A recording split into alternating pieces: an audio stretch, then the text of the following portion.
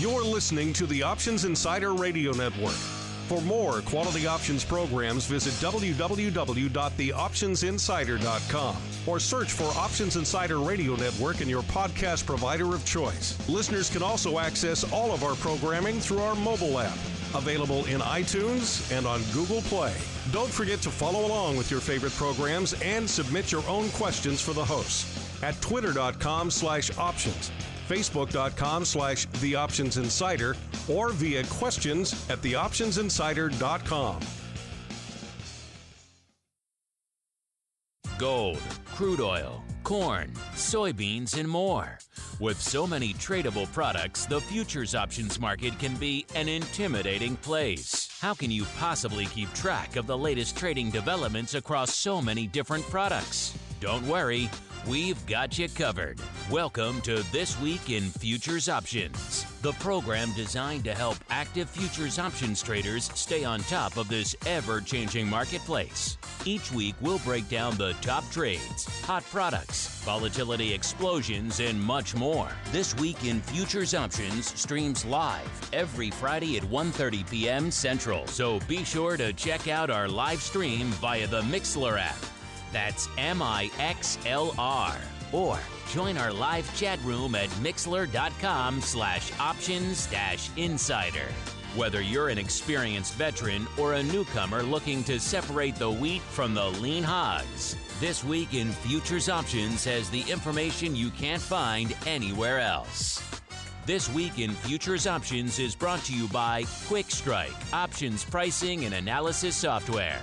QuikStrike offers powerful and flexible options analysis and pricing tools via an easy to use web based interface. View prices on outright options or spreads with comprehensive page level analysis controls. Build trades, manage risk, or explore historical volatility. QuikStrike has you covered with market data reports ranging from open interest to the term structure of volatility. QuikStrike is the perfect addition to your trading toolkit. Learn more about QuickStrike at bantix.com. That's B A N T I X.com. And don't forget to follow us on Twitter at QuikStrike1. That's Q U I K S T R I K E 1. This Week in Futures Options is also brought to you by CME Group, the world's leading and most diverse futures and options exchange. CME Group's markets help individuals and businesses around the world manage risks and seize opportunities. CME Group offers the deepest and most liquid options on futures across all asset classes, including interest rates, equity indexes, foreign exchange, energy, agriculture, and metals. For more information and educational resources about futures options at CME Group, visit cmegroup.com slash options. And now, get ready to break down the latest futures options trading activity. It's time for This Week in Futures Options.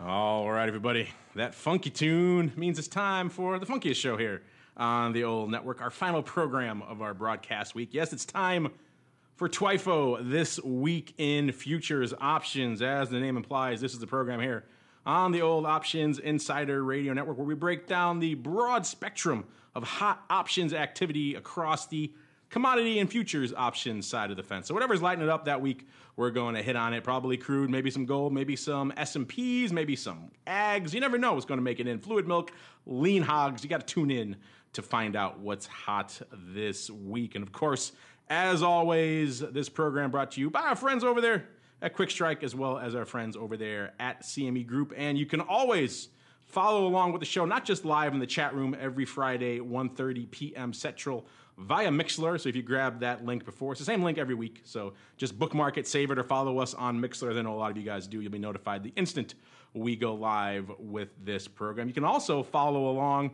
over there on cmegroup.com slash TWIFO stands for This Week in Futures Options, of course. And I do believe Mr. Nick, just give me a thumbs up sign if it is live. All right, we're getting a thumbs up here in the studio, listeners. So I know he's been teasing for you the last couple of weeks. Previously, you could listen live and generate your own reports, but the links on those TWIFO reports were not clickable. But as of now, during showtime, this is a good little carrot, a good little incentive for you folks out there to join us live in the Mixlr chat because they're going to be live during showtime for so for that one hour from 1.30 p.m. to 2.30 p.m. Central or 2.30 to 3.30 Eastern. Those links will be live, so you can follow along with Nick and I. You can always follow along with the report, but now you can click, as we do, looking into things like the Quikskew or into things like exactly in the most active category, what exactly was the most active options activity in a particular month out here in crude. So you can break it all down for you. It's a good good incentive uh, to join us live here if you can because it's it's fun stuff. And of course, you listen after the fact. We love you guys too, and you can always get access to the reports as well. This won't have that live clickable link feature. And of course, uh, you can always listen to our stuff via the website, theoptionsinsider.com, as well as, of course, via the mobile app, iOS, Android, and the beloved Fire OS. However you listen, live after the fact, whatever you, however you get your TWIFO programming, make sure you hit us up with your questions, your comments. We do love to hear from you guys. And joining me on the old program today, doing dual duty, holding down his own seat as well as the CME hot seat he is my cohort, my partner in crime for all things commodity options action, Mr. Nick Howard, the founder of QuikStrike. Mr. Nick, welcome back to the TWIFO program, sir. All right, glad to be back. Glad to finally deliver on the promise for the hot links. We have been today. teasing the people for quite some time. Right, so you got to get uh, if anybody's out there and can verify that uh, the links. I verified the links are working, but if we want to give us a thumbs up from out there, let us know. I will have our, uh, our social media team check and verify, sir, as we get on with the program. Let's kick things off. I got one more. All right, go ahead. We do have nice little studio audiences. It's fun, fun to have a live studio audience as well in the program. It is too. very crowded. Makes things, yeah, it's crowded. It makes things feel even more uh, more cozy here in the Options Insider Studios. Yeah, and today we're gonna uh, uh, the, for the first time, we're able to tweet directly from QuikStrike right out to the QuikStrike Twitter account. So all the stuff that we're talking about, even if you're not able to log into the cmegroup.com slash TWIO or TWIFO uh, link, we'll push them out on Twitter, and those will be links that you can then open up, and you'll see the screens that we're talking about as we're talking about that. There you go. So if you're not following us at Options, first off, you're you should be because you're listening to this program. And secondly, if you're not following Nick, he's at QuikStrike One. That's Q U I K S T R I K E One over there on Twitter and indeed on the old stock thing, stock thing, StockTwits. Let's kick things off, Nick. Uh, as we are wont to do a lot these days, I know it still is top of mind for a lot of you guys out there. That is all things crude. It's been an interesting product to watch of late, Nick. You know, we've had a lot of up and down. We had the will they, won't they dance on that 50 line, right around that 50 handle excuse me, again this week, uh, closing at 50 or somewhat shy of that, depending on where you're looking there on the term structure. So slightly down to unched on the week, not a huge move in the future, certainly not compared uh, to recent weeks. And of course, as we're uh, settling in around this 50 strike again, we're seeing some of that elevated vol from last week coming in again off about a point and a half uh, pretty much across the board out there. So I think a good,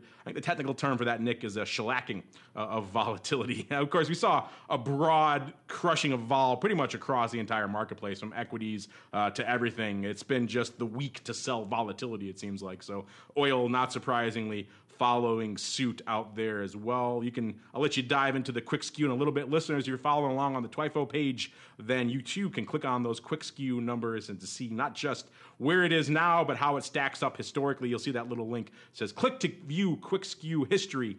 Click on that, and then you too uh, can play the home game here of TWIFO. And of course, a number one with the bullet again this week, front month. Front month still where the action is out here. We're talking June uh, with about a little over half of the paper, about 52% of overall volume coming in that front month yet again. I think we have a question later about the, or maybe a comment about the weeklies. So we'll get into that probably a little. This is the the question that won't go away, Nick, here about the about the WTI weeklies. Uh, but number one with the bullet, if you were wondering what was the hot option, the hot strike out here, in crude again this week. Yet again, it was the double calls. This strike simply refuses to die. It persists every week. Even last week when there was a sell off, we saw double calls lighting it up. And this week, now that we're kind of on just slightly down, double calls yet again in the front month, lighting it up, and quite a bit to the tune of about 64,000 contracts of this week, including 21,000 yesterday, 22,000 on Wednesday, a sprinkling, only about 5,000 on Tuesday, and roughly 10,000 on Monday. And the good chunk of that, most of that opening throughout the week as well. So very, very active paper out here on the double call strike. And then we fall off a fair bit uh, for the number two strike here, which would be the 50 calls. That's a strike probably more of you would have expected to be uh, leading the charge this week. Again, that's the that's the hot strike. That's the will they, won't they level that everyone keeps talking about out here in crude. And yet 50 strike uh, substantially less here than the doubles, only about 29, just a little bit under, a tick under 30,000 contracts, uh, with the lion's share of those going up actually on Monday, about 7,000 going up on Monday. And then following hot on the heels yet again with uh, the double calls. They can't get away from this double strike here, Nick. This time out here, though, uh, one month beyond, so into the July of the, uh, tw- these are the double calls here. 28,000 total uh, going up this week 28,123, including nearly 16,000 yesterday. So a very active, just the double strike across the board, Nick. They can't, they can't seem to stop trading these. It doesn't matter where WTI is, doesn't matter what's going on with the vol or anything else. They can't seem to be drawn away from the uh, the doubles. But that's not it for if you're talking you know, the weird trade of the week, maybe the head scratcher. Uh, you don't have to look too far. Just look to uh, WTI in particular. We're looking out here in the Dees. Not even Dees of 2018, Dees of 2017. We got some longer term bulls uh, rearing their heads again this week out here. It was the Dees 80s lighting it up to the tune of 4,000 on Monday, 4,000 again on Tuesday, and about 2,000 the rest of the week. A total of a little over 10,000 of these Dees 80s, the lion's share of that opening. Uh, so a lot of upside interest, shall we say here, uh, Mr. Nick. We'll have to dig in a little bit to see if those were harvesting some premium? Probably not. I can't imagine there's a lot of juice on the Dees 80s. It sounds like that was an opening buy, uh, in which case that would be kind of reinforcing what we've been saying for a while.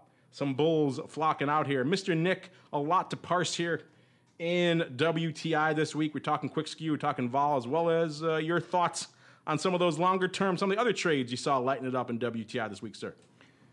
Well, you know, we've been talking about it for many weeks now how uh, WTI is trading in this range, right? So we're still within this range. We're 47 to 55, and I think uh, what we can see from this uh, recent decline here in the futures is that it, it, tried to go lower, it really couldn't go lower.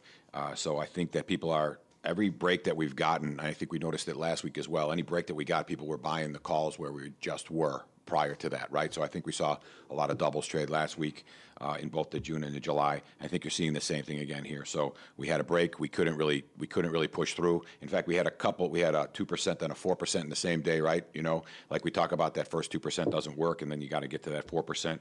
So we saw some vol some vol bidding in there uh, throughout the week, but there was no follow through, and and I think that's why you continue to see the upside. I think the bias is toward the upside.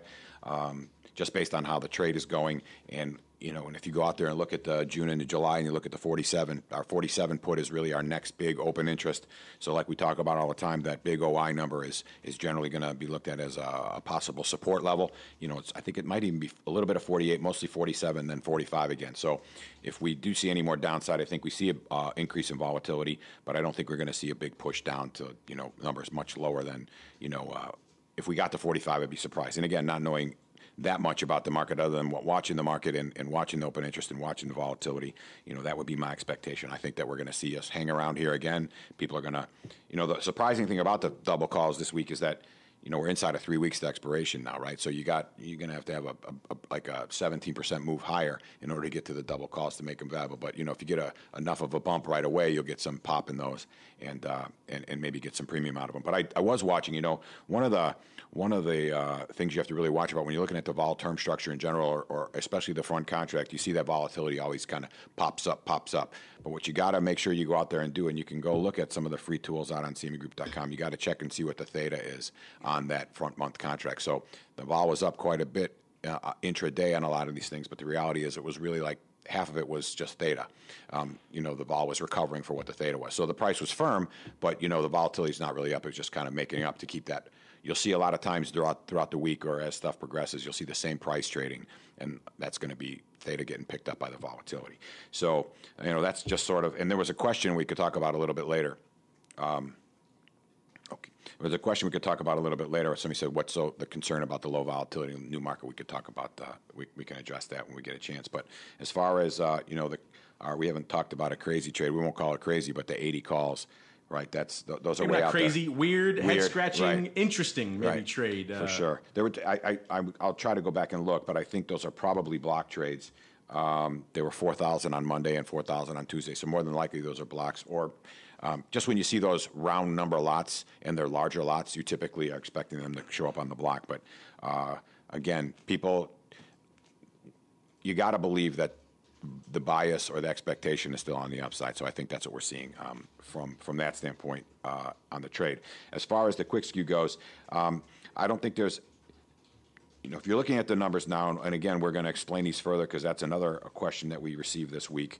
Uh, you'll notice that uh, the puts the puts got less expensive and the calls got less cheap, right? So that's why those you got a declining number in the put with the capital P. Those were those were expensive, but now they're less expensive. And you see a declining number with a small c on the call side. That means they were cheap, but they're less cheap now.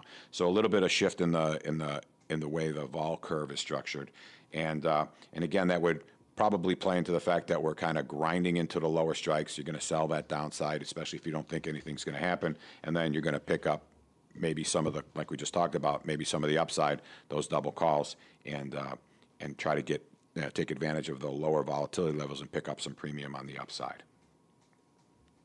Yeah, you know, it has been uh, an interesting week to watch uh, crude. Perhaps not as as rock'em sock'em as it has been in recent weeks. We do have some questions about crude in a little bit, so we shall return to crude. Don't you worry, uh, listeners. I put out a quick flash poll ahead of the show here, Nick, to ask people what were they what were they feeling for a breakdown, and a lot of votes actually coming in for soybeans. So, they're in luck because we have a listener question about that in a little bit as well. So maybe we will have to talk some soybeans in a little bit. Before we get to that, Nick, a lot of people also wanting, chomping at the bit for us to talk a little bit of the shiny stuff, aka gold, uh, selling off a bit again this week, off about 20 handles on the week. So flirting right around that 1270, 1280 line, depending on, again, where you're looking out there uh, in the future. So an aggressive sellout. People have been wondering kind of when will this uh, upside uh, dance come to an end, at least for this week. It seems to have uh, have mitigated somewhat out here in gold land. I know all the gold bugs won't like to hear that. We can get to that in the skew in a little bit as well. And of course, like we said earlier, all the bid in the skew was really in the calls in the last week or so. We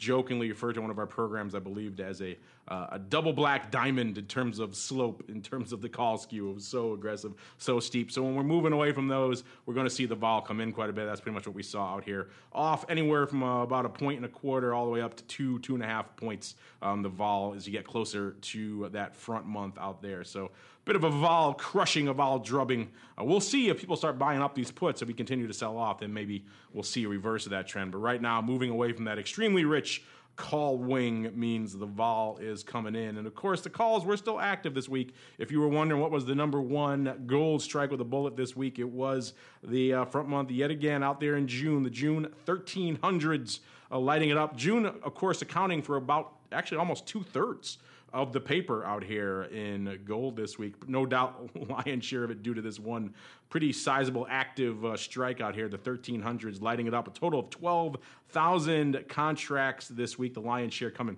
on Monday with about 5,000 of those going up on Monday, and then scattered paper throughout the rest of the week. Some of that, good chunk of that closing though, so could have been some people perhaps. Uh, deciding discretion was a better part of valor there, Mr. Nick, and trying to live to fight another day, closing out their 1,300 positions, waiting for a more opportune, shall we say, scenario to to open those up again. Number two out here, a fairly distant number two with roughly half the paper, are the 12 half puts again in the front month, doing about 65, 100 contracts. Again, fairly even paper throughout the week on that one as well, except for today. A fairly light paper out there on that strike today. And then we drop off a little bit again to the 13 halves, the ever optimistic a 13 and a half. People were loading up. Remember, we said last time on the show, listen, people were loading up on some far out of the money strikes this week. uh, perhaps deciding again uh, to close out some of these. Uh, we saw about 5,600 going up, nearly 4,000 on Monday. A good chunk of those actually closing on Monday. So it seems like some of the more optimistic of the gold bugs this week, perhaps again deciding to try to live to fight another day. I don't know how much juice was left on those calls when they closed them out, but hopefully some, and then some scattered paper throughout the rest of the week. Looking a little bit longer term, as we like to do out here in gold as well. There was some interesting paper uh, coming up in, again, Dees. Dees 2017 is where the longer term head scratching paper is going up this week, uh, Mr. Nick, uh, which was the 1700s out here in December, uh, going up a total of 2,200 times, including looks like a block of about 1,500. Nick going up on Thursday, a thousand of that roughly uh, opening. So again, uh, that 1,700 strike seems a wee bit, uh, a wee bit optimistic. Certainly by the end of the year. Uh, but then again, uh, you never know some of these gold bugs. We've seen some of the weirder trades we've seen on the show, Nick, since we've been doing it, have been in the call skew and gold. So nothing really surprises me out here at this point, uh, but still a little bit. I think you can turn that charitably as optimistic. I don't know, Nick. What are you feeling about those 1,700 calls, as well as what we saw out here in the Quikskew and gold, and anything else that caught your eye in gold options activity this week, sir? Yeah, I'm glad you mentioned those. I mean, that's that's kind of the the the most uh, out there trade as far as the, the strike extremity goes. But uh, wanted to make sure that people realize that if you are following along and you, you see that 1700 call in the in the December contract, you can click on it and it'll open up a, a, a window for you. And in that window, you'll be able to see the volume by day. And Mark mentioned that there was a block that went up, and you could tell that it's a block by looking at the looking at the legend on the chart to see uh, what the bar represents. So, see a purple bar, it'll be it'll be a block trade. Uh, as far as everything else that uh, you know that I noticed out there, and the gold, we saw um, at least in let's say June, July, August, even September. We'll, we'll, we'll say the first four months, and that's where the majority of the open interest is. You see some again. You see uh, particular months in all of these commodities where they're they're out there on the curve, and then they have sort of a jump in open interest. Those become um, uh, contracts of interest, like you'll see it always generally in the June and the December in crude, and here you'll see it in uh, you know the uh, the the October and the December in the gold. But if we look at those first four months and you take a look at the Quikskew number, you're going to see, especially you know June June uh, contract has 27 days to expiration right now, and you'll see that the calls got much less expensive and the puts got much. Uh, much, you know, much richer. So they were very cheap and they got less cheap now. So you'll notice again, those numbers went down. Again, the small p represents uh, the small characters represents cheapness, and the, the capital letters represent expensive. So something can get more, you know, more expensive or less cheap. Whatever. That's usually how I'm referencing it. But if you go down across the board, you're going to see we saw a little bit of a tightening uh, of that um, of that Quikskew ratio. And what I'm going to do is I'll go out here and push out, uh, as soon as I get a chance, I'll push out that Quikskew. But you can look for yourself. If you go out there and click on the link, and you'll be able to pull up the Quikskew, and you'll see how uh, over the week we saw a tightening in that 30 day. Uh, Quikskew number for the 25 delta calls. Okay, now um, let's see, is it out there? That's working. Yes, you guys can go out there and take a look, and you'll see the graph pop up, and you'll you'll notice for yourself. And we'll we'll push that out a little bit later uh, as a tweet from the show. Um, but as far as that, right, we, we're seeing sort of the same thing here in gold, like we have been all along, right? We get a little bit of a run up, right, and then we come back down, and we're sort of again within we're in the probably the high third of this range that we've seen this 1200 to 1300 range we we didn't get much past 1290 this week and we had a big drop off right off the bat uh, on the open on monday so we came from 1290 down to 1280 we never saw above that so over the weekend uh, there was um, there was that drop, and it could have had something to do with the election too, probably out in out in France. So was, once it was sort of uh, in the books, um, uh, people were less concerned about. French you know, love their gold, yeah, sir. and, well, little little less worry, right? So everything sort of came exactly. back in line. So uh, other than that, I think we're going to see this again. Speculating only, right? Not knowing anything in particular, just watching the markets. You're going to see a trend here uh, that we usually um, that we usually see here when we when we when we when we have our commodities that are just sort of moving along. And and again, uh, one thing that uh, of notice here in the gold is that if we look at the 30-day vol, um, we're we're at around five-year lows, right? So we're really, and that's the 30-day constant maturity volatility, right? Volatility. So that means we're taking two contracts that are around the 30-day volatility if we don't have one. So it's very similar to right now to the June contract, but we're on lows for that volatility. And again, volatility is low; it could always go lower. It doesn't necessarily mean it's not a sale. It Doesn't necessarily mean it's a buy, but it's just that you know the market is there's not much expectation there, and when you start to see uh, um, the the skew, meaning the calls and the puts start to come in line here, which we're really seeing basically when we have a 10 vol, a 10 and a half volatility, and a, a skew that's only two and a half percent rich, right? So you're really looking at like a 13 vol in the calls and like a nine or eight and a half vol in the puts. So we're seeing a pretty a pretty slopeless. Well, there's slope, there's some slope there, but a pretty flat vol curve as well between a pretty wide range of strikes. Speaking of wide range, we asked you guys at the top of the show a little flash poll. Hey, what do you what products are are floating your boat this week? We gave you some of the usual spectrum of the golds and the crudes, as well as of course some others, including soybeans. And Mr. Nick, soybeans is uh, is winning right now with about fifty seven percent. So the people have spoken. We all think we also have a listener question on this as well. So I'm going to cheat I'm going to read that question now ahead of the listener question segment. Hopefully, you can handle that, Mr. Nick. Mexing up, sorry, the Mexican, mixing up the format a little bit. We got a question here from Mexican uh, yes, Mexican soybean. Lily Pod wants to know what's up with soybeans.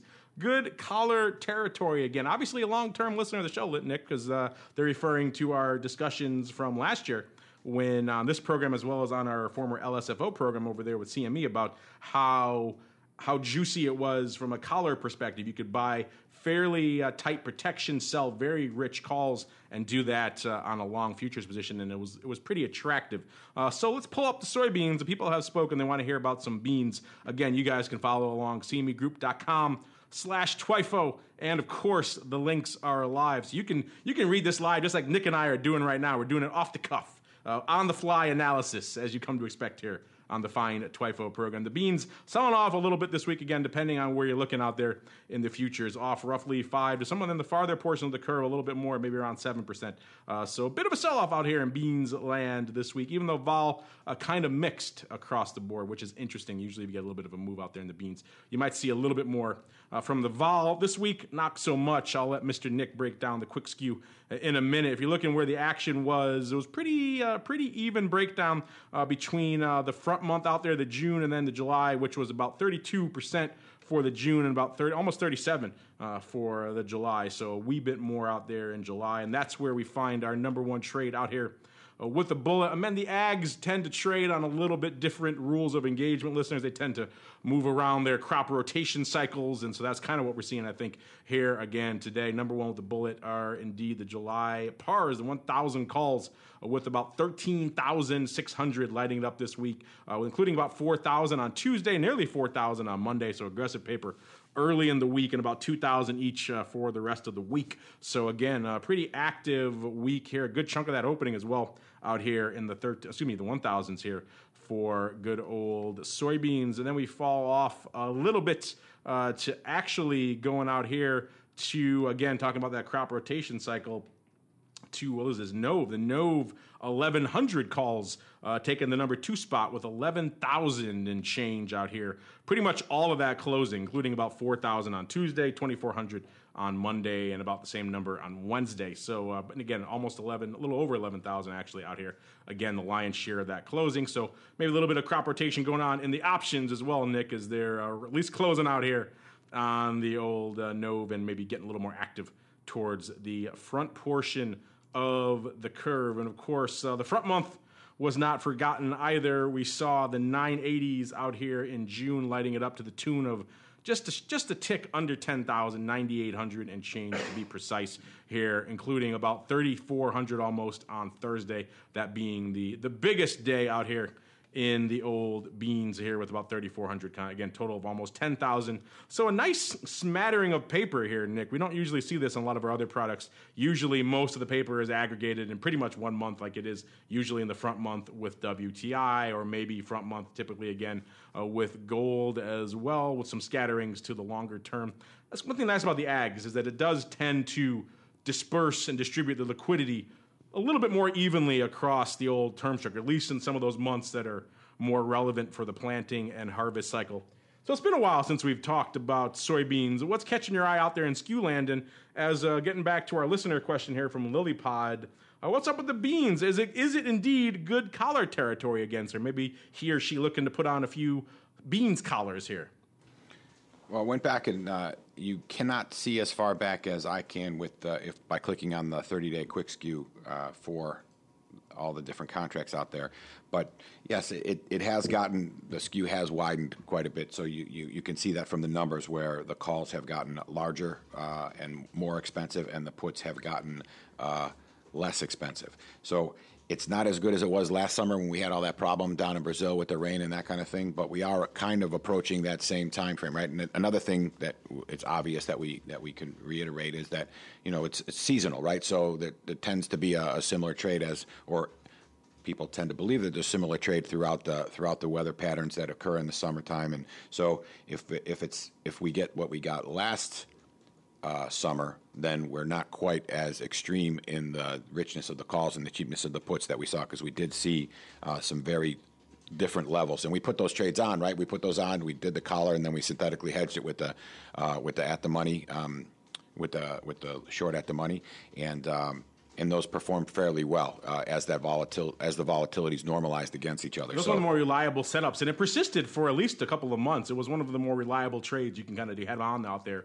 in the futures option space for a while before it finally uh, dissipated. So yeah, that was that was a, that was a popular one. Yeah, that was a good one. And we we saw that we saw uh, at, we put it on at the highs and it came back down where it looked like it might be normalizing again. Then we got another scare and it went back up. So we saw we saw a gain, then we saw a loss, then we saw a gain again. So we de- we definitely got an idea of how to trade that and you know levels to uh, to maybe get out. So uh, yeah, so that I don't know that we're quite there yet, but yes, we are seeing that sort of separation from the calls and the puts.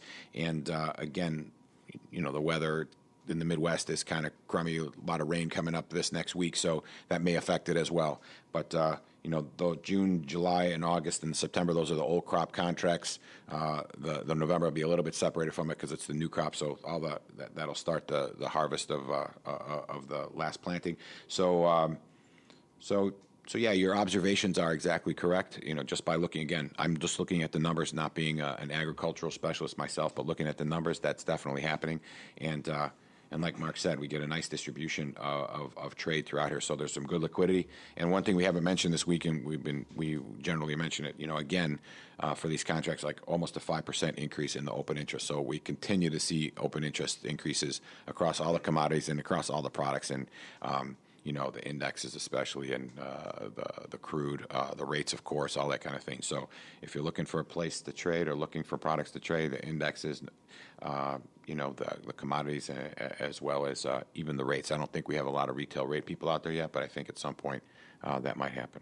That'd be interesting, reflecting quite a change in the in the marketplace when the rates are lighting it up uh, with the retail. So long, long answer to your question there, LlillyPod. Summarizing, yeah, you know, not quite, actually nowhere near really as favorable as it was back in that what was it, May to June timeframe of last year, right, Nick? That really was very juicy. You can see that for yourself if you're following along live on the Twifo page, cmegroup.com slash Twifo. Go up to soybeans, click on any of the Quikskew, 25 day Quikskew numbers there. You'll see for yourself exactly what we're talking about. Meanwhile, though, it's time to get on with the rest of your questions. It's time for some futures options feedback.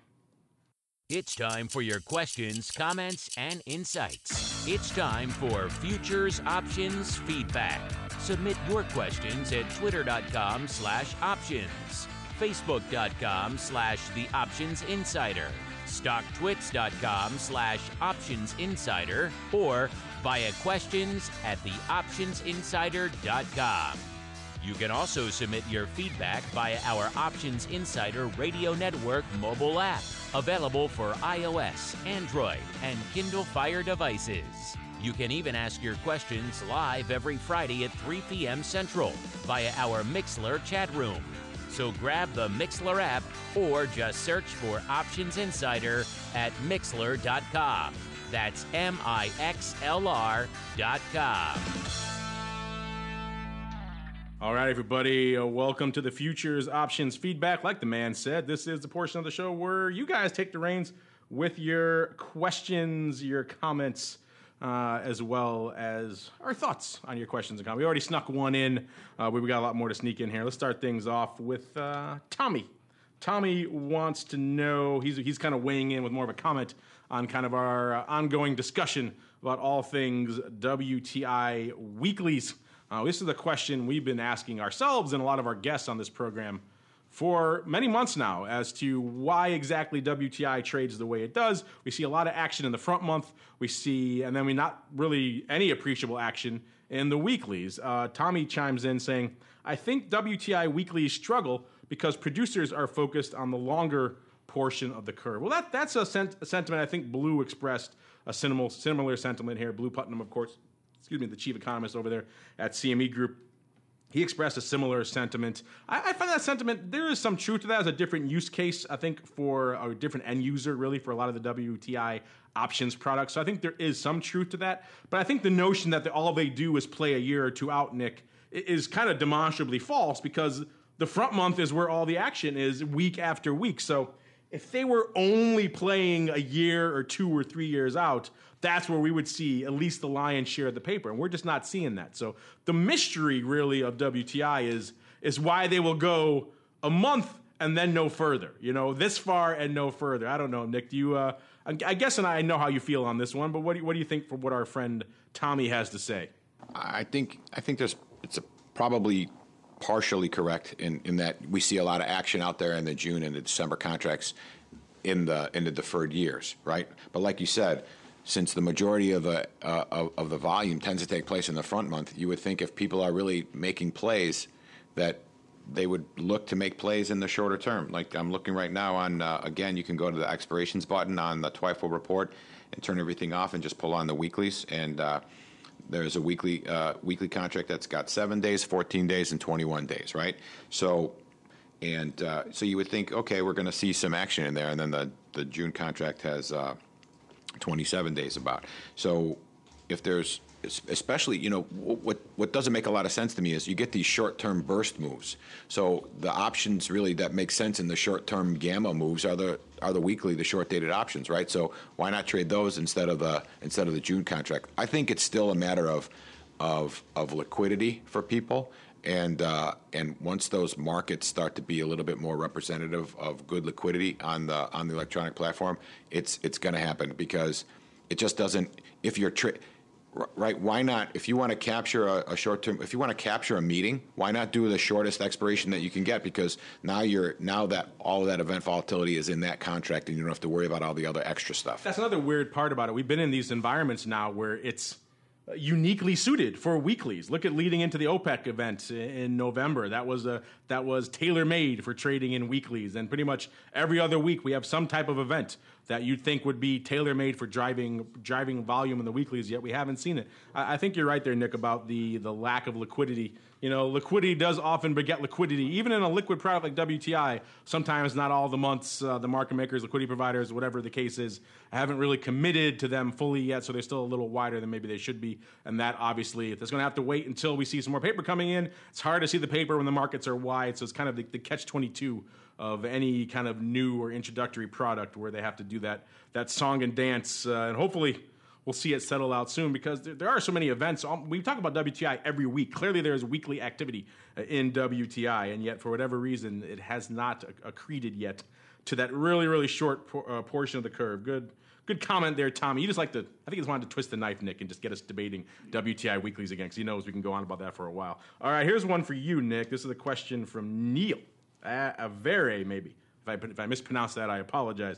Uh, he asks, Can you run down the Quikskew again? I'm still not really sure how to read it. You kind of did this a little bit, Nick, last week. I think he must be looking at the live report or some of the other ones where he can see kind of the 25 day Quikskew. I, I can maybe see why he's a little confused. You first see that for the first time. You see those numbers there, and you're like, 9.3p, 57c. What is that? So, uh, really quickly for our listeners here again, uh, how do they read that? Especially if they're looking at the live report right now. How, how do they read that? Okay, so that's a that's a great question. I'm always glad to explain that because we were actually talking about that in the meeting uh, on Wednesday uh, with the guys that generate these reports for us. And um, when you look at, you know, if you look at the risk reversal, right, all you're getting is the separation between the call and the put. You don't really get any relative value to each other, right? And if you look at the butterfly, 25 delta butterfly, you're really seeing. Um, a number that tells you whether the, the wings are rich or cheap to that the money now. But that could easily be uh, a call that's you know nine vol higher than the at the money and a put that's nine vol lower, and it ends up showing a zero. So you think no, the wings aren't rich or cheap to the at the money that's flat. But what the Quikskew does, and again, like Mark said, we put the puts first and then the call second. And why do we put the puts first? Because the left side of the vol curve, when you're looking at the screen, is the put side. Okay, so you see that number, and it says, for instance, I'm looking at the crude June report right now. It says 5.6 capital P.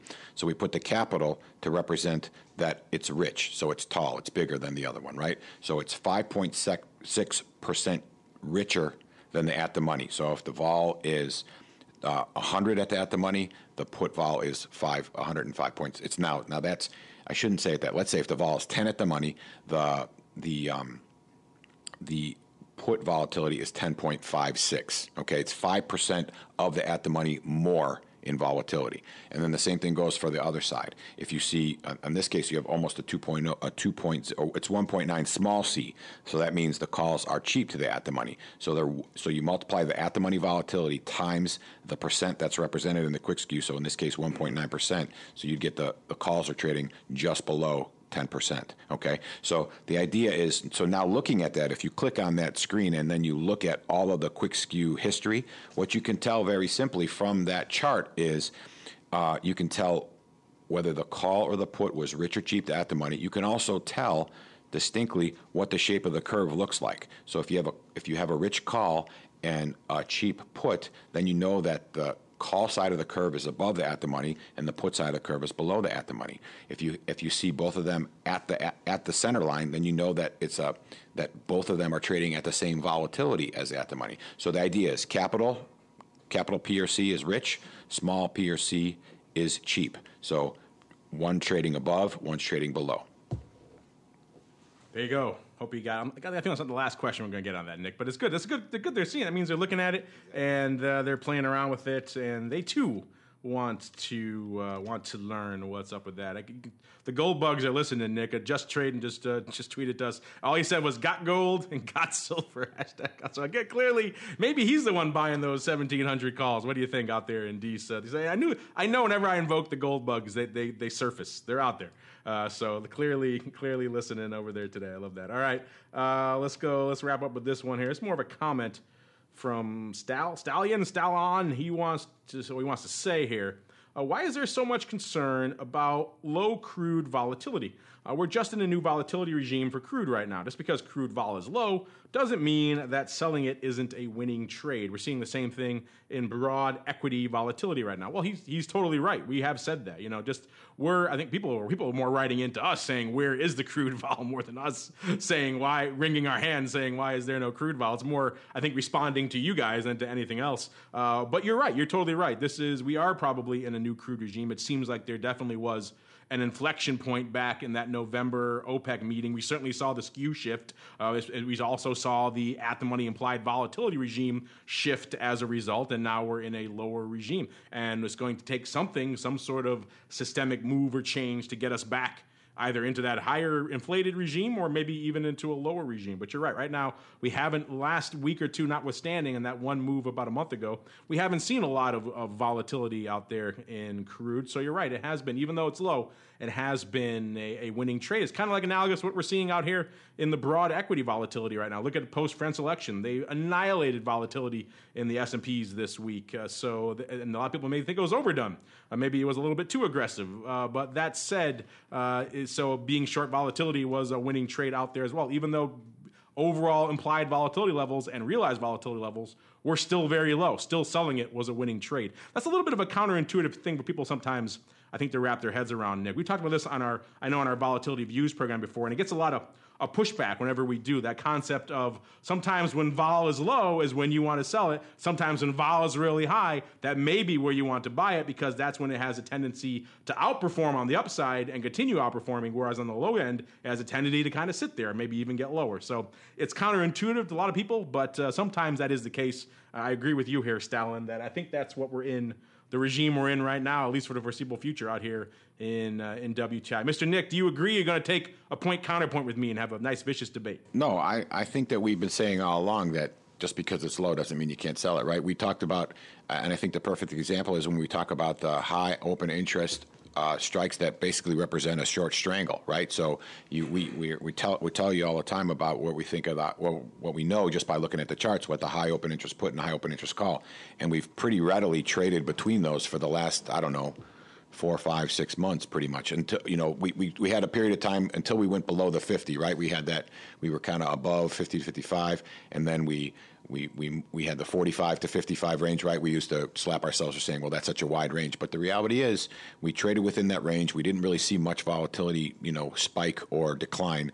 But uh, and we talk about it as well from the vol term structure, right? For weeks we've been talking about the June, July, September butterfly, right? So you can get short volatility by being short the July twice and buy the June and buy the September, and you have a short volatility play. You also have, you know, if the market does move, you get a you get a nice punch from the gamma on the June contract, but you don't lose too much from a from a volatility standpoint either because you're making up for that in any bid the June might get, and the September is going to stay with the July for the most part. So, um, and again, we there's reasons why that July volatility is a little little bit of a hump, right? We talk about the next OPEC meeting coming in after the June contract expires, but but absolutely some, you know, I think the more I look at the markets and the more I watch, and the over the years I traded, where I tended to be biased towards um, liking to own gamma and you know being short volatility, that type of thing. I think that the markets show us that you, you know you you don't a you don't really know what's going to happen, but it, you can put on you could put on a short strangle even in a low volatility environment and make money here, and and and or at least be willing to sit on it and you know try to catch some of that decay. So. Uh, not we're not that concerned. It's just one thing we point out and talk about talk about the historical lows of it and watch it and see how the volatility reacts in a trend in a, in a range and how it's trending. So that's the that's really what we're trying to point out here more than saying not to do something or, or to do something from a volatility standpoint. All right, Mr. Nick, that music means we've come up against it yet again. Fun show this week. Mixed in some extra stuff. We didn't really, uh, I, don't, I didn't plan on talking soybeans today, but the listeners spoke and uh, they got it, which is, we like, that's what we like you guys. We like you guys, you guys tune us on and tune us into products maybe that aren't on our collective radar. They throw that, what are they throwing at us for? Fluid milk, lean hogs, you guys get all the esoteric products. Soybeans actually more mainstream than what you usually ask us about. So that was a comparatively easy one. Keep those questions coming. Uh, we do love to hear from you guys. And again, you guys can always follow along with all these reports we talk about throughout the week at cmegroup.com slash TWIFO. That's where these reports are live. The links are only live during showtime. Uh, but the reports are live all week long, so you can keep generating them. So you want to see exactly the week up to that point. Let's say you check them on Tuesday or Wednesday. You want to see what's going on so far that week in WTI or fluid milk, whatever your product of choice is. Head on over there. You can do just that, all completely free. Kick the tires and light the fires, as they like to say. And then, of course, on Friday, every Friday, 1.30 p.m. Central, 2.30 p.m. Eastern, you can join Mr. Nick and I for a nice deep dive into all things, uh, all things, all things TWIFO, all things hot futures options over here. And while you're over there on the CME site, make sure you check out uh, their newly revamped, newly revised CME Institute, formerly the Futures Institute. Last time they were on, they were talking a lot about that. But you guys are always asking us, is, is there good futures options education over there? Well, they got you covered over there. Now, it's actually quite a bit of it over there. Uh, that's why they, hence the rebranding Futures Institute didn't really imply a lot of options education, so now they got you covered. Head on over there; it's all free. So, uh, so what are you waiting for? Head on over there, CME Group. Check out the CME Group Institute to learn a little more about what we're talking about here on this fun show. So, any, any the terms are above your head or you're confused, hit them up over there, and I'm sure they got you covered. And speaking got us covered, Mr. Nick, you got live reports going on for us this week. You got live links. What else is cooking in the land of QuikStrike this week, sir? Uh, well, that was uh, that was a big one that we've been waiting to get out there. So I, I took a look and we saw some activity out there. So hopefully, in, in, the weeks to come, as people learn, we'll get more live listeners and more people participating actually online. Uh, as far as anything else goes, we'll be we have some reports that are sort of getting vetted, but we'll have some good. Uh, uh, Quikskew, rich, cheap historical stuff that you can look at the whole benchmark uh, of, of products at the CME Group and look and see what looks rich, what look rich, what looks cheap. Also, ranking of uh, the puts and calls by the Quikskew so you can see if there's a rich or cheap put or call and it'll show you across all the expirations in the product what's rich or cheap and then we're also going to have which one I uh, one I really like is a DTE sort of a seasonal report depending on how you look at it. And it'll show you if for instance if something's got 34 days to expiration it's going to show you uh, the contract last year at this time that had 34 days in the year prior and the year prior. So you see for instance in in, in crude as an example 27 days to expiration today. You can go back and look at what what the June contract looked like last year, the year before that, year before that, all uh, at that day's expiration and see what it looked like a week before, a week after, so you can kind of start to get some trends, see how things might trade. There you go. Check them out over there. Uh, pretty much anywhere you can get it. CMEgroup.com. All the tools are there. Or just search for QuikStrike. Remember, there's no C. It's Q U I K S T R I K E. If you want to follow him on Twitter, it's Q I K S T R I K E 1. And you can get all those cool charts. And he says you can tweet out now directly from the system. So you like, a lot of you guys like those cool charts, more of them coming from Nick and his team if you follow them over there on Twitter. And on behalf of Nick and our friends over there at CME Group, and indeed myself, I want to thank all of you out there in the listening audience for downloading and streaming and subscribing. Of course, for all of you can join us live. We love you guys too, as well as everybody who listens after the fact. We haven't forgotten about you guys, don't worry. And we'll see you next time for more of This Week in Futures Options.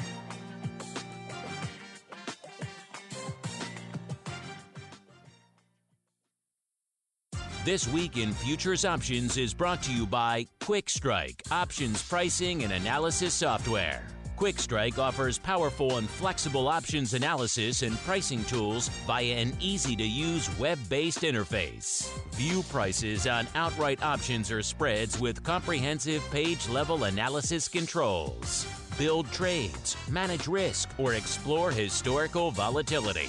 QuikStrike has you covered with market data reports ranging from open interest to the term structure of volatility. QuikStrike is the perfect addition to your trading toolkit. Learn more about QuikStrike at bantix.com. That's B A N T I X.com. And don't forget to follow us on Twitter at QuikStrike1. That's Q U I K S T R I K E 1. This week in Futures Options is also brought to you by CME Group, the world's leading and most diverse futures and options exchange. CME Group's markets help individuals and businesses around the world manage risks and seize opportunities. CME Group offers the deepest and most liquid options on futures across all asset classes, including interest rates, equity indexes, foreign exchange, energy, agriculture, and metals. For more information and educational resources about futures options at CME Group, visit cmegroup.com slash options. This broadcast is intended for informational and educational purposes only and does not constitute trading advice or the solicitation of purchases or sale of any futures or options. The rulebook of the applicable exchange should be consulted as the authoritative source on all current contract specifications.